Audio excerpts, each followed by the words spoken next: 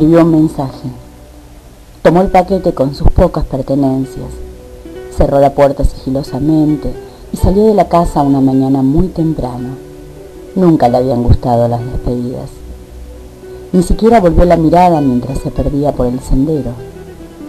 Intentó sentir el corazón roto, destrozado por la soledad que se avecinaba o el vacío que sentiría a partir de ahora al llegar a otra casa y él no estuviera.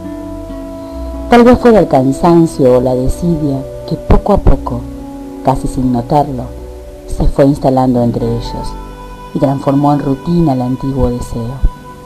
Quizás los excesos del amor una vez infinito, la pasión desbordada sin medida a lo largo de los años y que acabó apagándose gastada hasta agotarse. No sabía la razón. Solo ocurrió.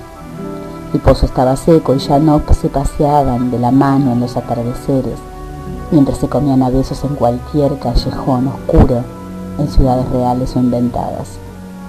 Ni se perdían en libros compartidos en un sofá al calor de la lumbre.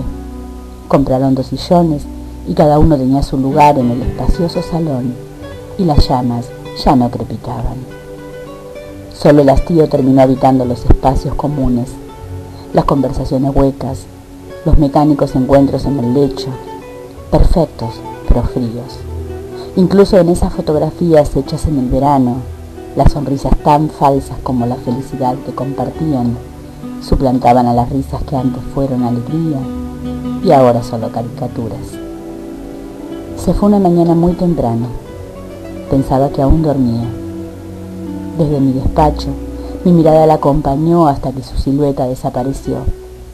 Luego cerré la ventana y bajé al salón tanto tiempo compartido. El silencio, el mismo que nos había envuelto los últimos inviernos, me acompañó mientras me senté a leer en el cómodo sillón al lado de la chimenea que ya no calentaba.